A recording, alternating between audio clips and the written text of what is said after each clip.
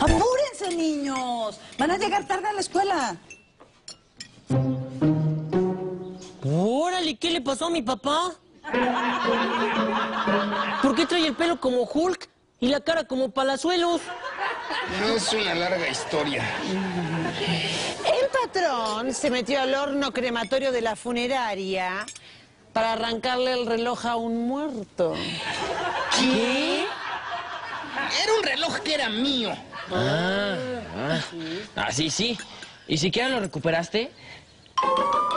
Mi reloj favorito con correa imitación peluche color azul chiclamino. Pa, este reloj no es tuyo. ¿Ah, no? ¿Por qué estás tan seguro que no es mi reloj con correa de imitación peluche color azul chiclamino? En primera, porque esta no es correa de imitación peluche color azul chiclamino. Lo que pasa es que se derritió.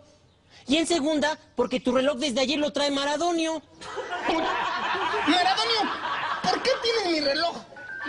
¿Te acuerdas la vez que te gané 5 mil pelucholares en el ajedrez?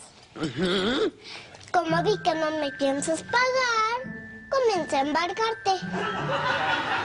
Ayer fue el reloj, hoy fue la tele. Y mañana hasta tus calzones.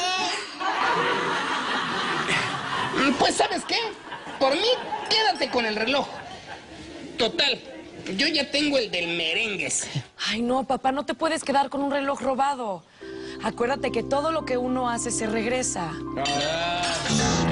A, a ver, Vivi.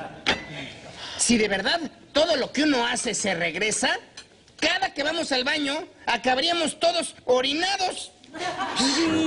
¿Por qué no eres una niña normal?